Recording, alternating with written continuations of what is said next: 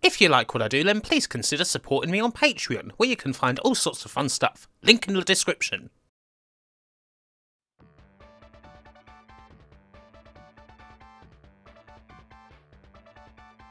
Way back in the earlier days of the internet, when people were still documenting all the games, official and unofficial, that were released for the Mega Drive on sites like Eidolon's Inn and what have you, one term that you'd often see bandied around was YACEG. Now the Mega Drive had a lot of YACEGs. You could barely move for these incredibly cheap titles, often regarded as the landfill of the retro game collecting world. And now, I'm sure a lot of you are wondering just what a YACEG even is, so I'll put you out of your misery. It stands for Yet Another Celebrity Endorsed Game. Simple, innit? Anywho, YACEGs were pretty common in the old days when you'd find loads more sports games that were licensed by one particular star, as opposed to a league or what have you. In most cases, said star will be the only real person in the game, while the rest will be wholly fake. How interesting are they? Um, depends. Sometimes they're intriguing because you wonder how on earth certain people actually manage to get a game named after them. Sometimes they're intriguing because the game ends up being, um, kind of odd. And sometimes they're actually, you know, good. Today's game is intriguing because of how big the name on the front is. Why, it's probably the most famous sports personality of the 20th century. Surely to God, you would think that would warrant pushing the boat out somewhat. It is Muhammad Ali's heavyweight boxing. So this is hardly some tin can bum. It's a guy who transcended his sport. The most charismatic man on the face of the earth.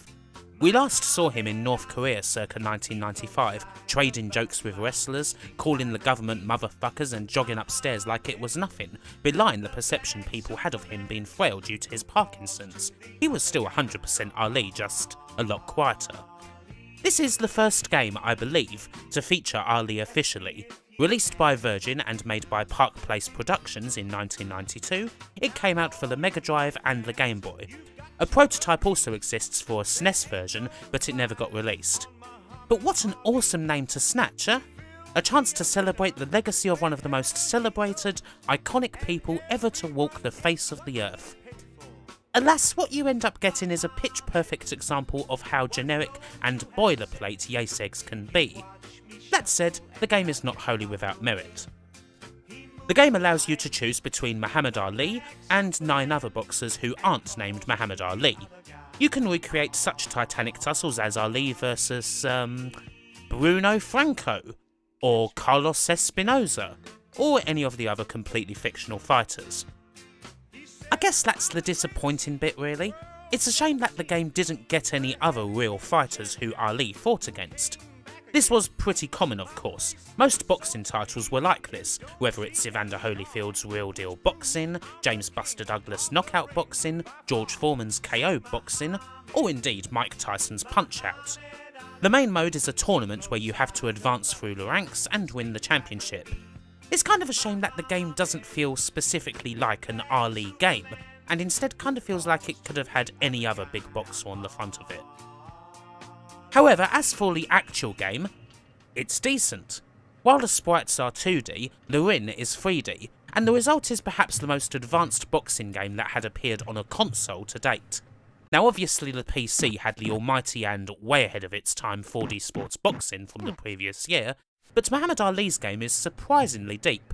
You get two modes of control, arcade or simulation, Simulation, which is definitely the preferred method, assigns the A and C buttons to your left and right arms, while B defends.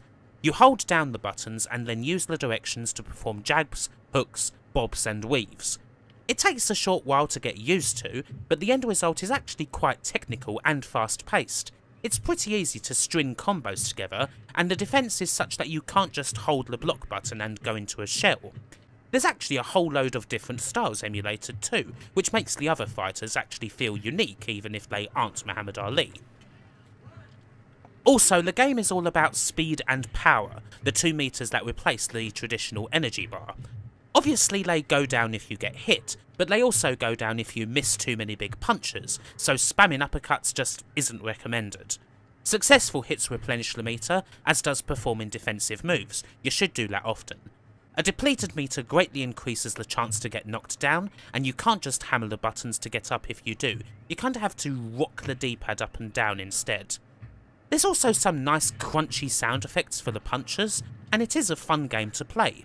There's a lot of swings and roundabouts in a good fight, and while you really feel like you're riding high when you get a good string of hits on the opponent, it's not as if they can't bounce back if they get good shots in and start making you miss.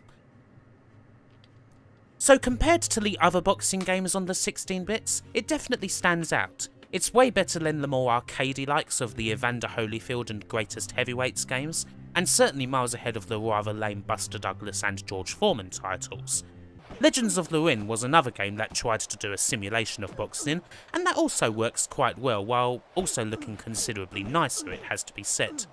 If, like me, you don't really consider Punch-Out to be a simulation of boxing and more an arcade game based on good timing, then these two are probably duking it out for the title on consoles. It's just a shame that the presentation on this is so ugly, and the game doesn't really use Ali all that well, but then that was the standard of the time, and the boxing on its own is, yeah, it's pretty good.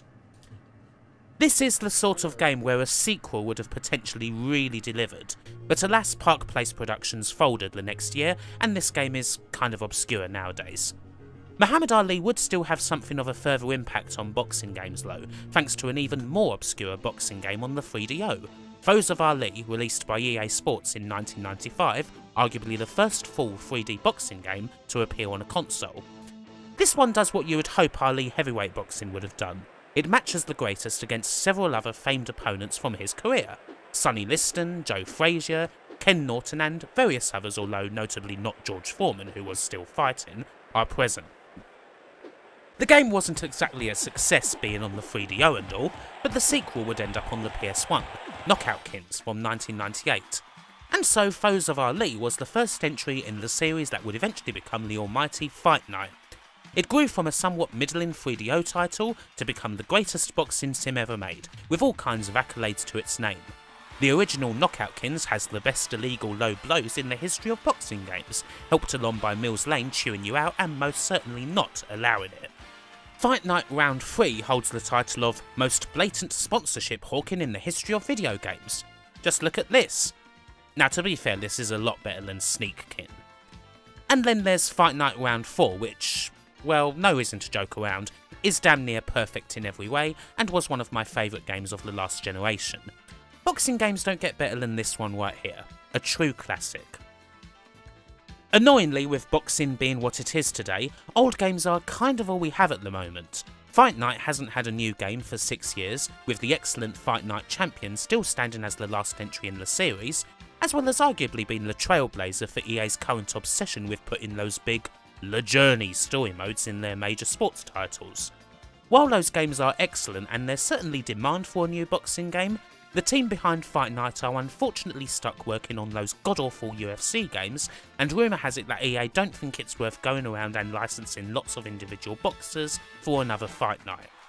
Hopefully we do see another Fight Night at some point, and folks like me who love a good boxing game will actually have something new to screw around with. For now, though, there's always the oldies, and Muhammad Ali heavyweight boxing does have some definite strengths that make it an easy slugger to get into, but not one that sacrifices depth for it. It may not be a champion, but it's certainly a contender. Bye for now.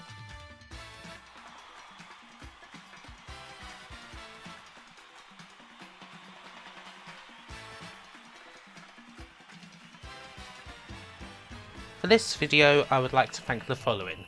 Adam Schaefer, Alex Stoko, Andrew Dalton, Andy Capt, Audie Sawley, Conformist, Daniel David Taylor, Dustin Cooper, Gary Pinkett, George Newton, Ghostly Spectre, Grayson Blackpool, Hunter, Iain Roberts, James Idd, James Loveridge, Jason Durso, Jason Goy, Jason Leach, Jason Stevens, Johan Eriksson, Josh Jensen, Lee Norris, Mark Johnston, Martin Pataki, Nanette McCrone, Nicholas Tristan, Olaf Albeen, Pete Morris, Peter Jack, Peter Sidorn, Phil Taprog, Pocky Southmaid, Rachel Maxwell, Romeo, Wyan Burford, Wyan Wyatt Coleman, Sammy Lee, Sean Zoltek, Seth Robinson, Simon Gulliver, Stephen Warner, The Unnatural, Tiago Pereira dos Santos Silva, Tanya J, Twisted Scroat, Vishardi, Yerka Operator, and Zach Roach.